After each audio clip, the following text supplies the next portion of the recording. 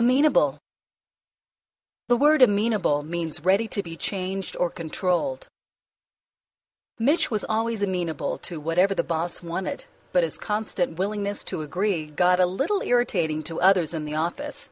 He was always submitting to the boss, telling him that everything he did was right, going along with his ideas for the business. If he'd been a little less amenable, though, the boss wouldn't have liked him as much and would have found someone else to agree with him on everything. Amenable, ready to be changed or controlled. Acquiesce. The word acquiesce means to agree to without protest, generally without enthusiasm. After a long discussion, the manager finally acquiesced to his employee's request for a huge pay raise. Even though the manager wasn't sure if he had the money to pay the employee, it was important to comply with the demand. If the manager didn't acquiesce, the employee might decide to leave the company and go to work for its competitor. Acquiesce. To agree to without protest. Accommodate. The word accommodate means to make room for something, to help out, to go well with, or to do a favor for someone. The flight attendant saw that the old woman was having a difficult time with her bags, so she accommodated her by placing it in the overhead compartment for her. Like most people who work in the service industry, the flight attendant was looking out for the customer and saw the opportunity to do the old lady a kind favor. The other passengers also accommodated her by offering her the aisle seat so she would be able to get out of her seat more easily if she needed to use the restroom. Accommodate. To fit. To have room for. Attrition. The word attrition means wearing away, a normal loss of workers or members by retirement or dying. The business was run badly and people hated working there so much that attrition among employees became a problem as more and more left each month.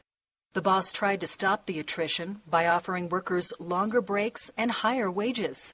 That had some effect, and for a while there were fewer people quitting each month. But after a few months, the rate of attrition picked up again, and people began bailing out left and right. Attrition, wearing away.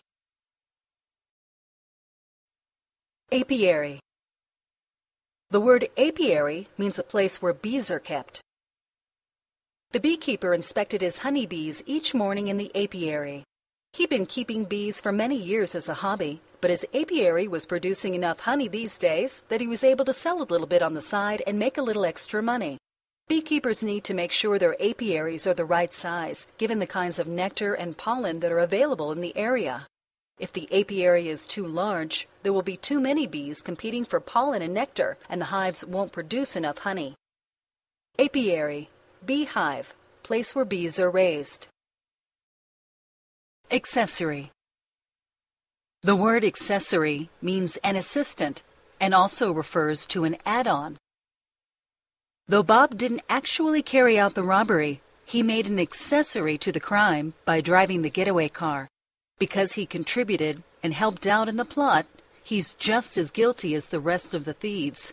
There are many laws on the books to punish accessories like Bob. They may not receive sentences as harsh as those who carry out robberies, commit murders, or engage in other kinds of criminal activity, but they'll be punished nevertheless. Accessory also refers to an add on. Pam likes to pamper her kitten by adorning it with some pretty expensive accessories. If you asked me, the kitten looked rather silly, especially with the bow on her head. A well dressed woman knows that the true charm of an outfit comes from carefully chosen accessories, such as an expensive leather handbag, a pair of beautiful calfskin boots, or beautiful ivory earrings. Accessory, partner in crime, addition. The word anachronistic means out of place in a particular time period or out of chronological order. He drove around in an old car that was neat but anachronistic for the city where he lived. My grandfather is very old and set in his ways, so his views on the world can be somewhat anachronistic. Jim argues that certain aspects of our political system are anachronistic and should be updated.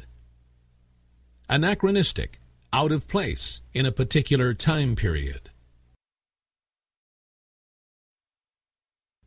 The word audit means an examination of financial records for a person or business. After our company did an audit of our expenses, we realized we had spent way too much money on office supplies. They were nervous about their audit because they hadn't saved all of their old tax records. The audit showed that we had actually paid more taxes than we should have. Audit. A close look at financial records. Apathy. The word apathy means lack of emotion or interest. I am always surprised by some people's total apathy toward helping those less fortunate than themselves. The other day I saw a woman walk right past a man in desperate need of help without showing any concern for him or his safety. Her apathy toward lending a hand to the suffering man demonstrated her complete indifference to helping anyone but herself. Apathy, disinterest, without concern. Adumbrate. The word adumbrate means to outline or to foreshadow. The final plans for the construction project had to be adumbrated before the actual work could start. The sunny spring weather adumbrated the good times that lay ahead for the summer. Before getting into the finer details, I'll briefly adumbrate my views on this issue. Great works of art don't come out of nowhere, but are often adumbrated by earlier writers or painters whose names we don't know. Adumbrate, to outline or to foreshadow.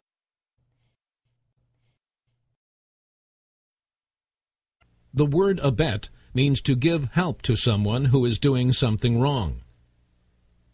When he drove the getaway car, he was definitely aiding and abetting the bank robbery. Kelly abetted her sister's lies by telling their parents that they were going to the mall. Whenever we hang out together, Greg always abets my bad habits. Abet, to help someone in wrongdoing. Arrogant. The word arrogant means full of pride and self-importance. We keep trying to convince Paul to stand up to his arrogant and overbearing boss, but he never has the confidence to do so. Yesterday, Paul's boss humiliated him in front of his colleagues, but even that didn't push Paul to confront him. Instead, Paul continues to submit to his arrogant boss's overbearing demands arrogant, full of pride and self-importance. The word ample means plenty, more than enough. The holiday celebration included ample amounts of food. You have ample time to complete the test, so don't rush through the answers. The house we're selling has ample space for a family, so maybe it will sell quickly. Ample Plenty. More than enough. Addendum. The word addendum means an addition at the end of a book, an extra part, or something added. In the addendum to the latest edition of his book about global warming, the author offered some new information that wasn't available when it was first published. There wasn't a whole lot to add to what he'd already written, but the addendum brought the reader up to date on recent events and corrected some errors, which were detected too late to be included in the main work. If the book continues to sell well, maybe the author will keep adding on to it as new editions come out and new events take place. Addendum. Add on. Addition to a book.